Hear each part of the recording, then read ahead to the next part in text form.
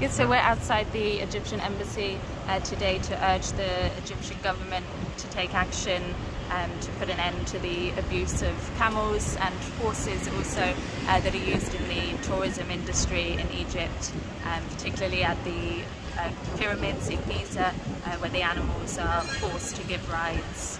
So we recently released footage um, of camels at the Birqash market um, in Cairo and these animals are often sold into the tourism industry um, and then when they are no longer useful to the industry they are brought back to the market and they can be sold for meat.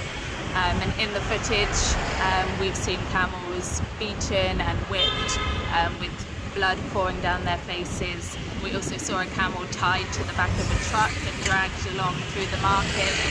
Um, and the camels at the market have their legs tightly bound uh, so that they cannot walk properly, they cannot run.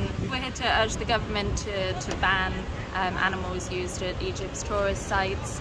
Um, for example, at the Great Pyramids of Giza, um, able-bodied people can access the majority of the park by walking. Um, you can also book private tours um, with cars and vehicles and we're also urging the government to replace the animals, um, for example with electric carts or vehicles that can transfer people around the park.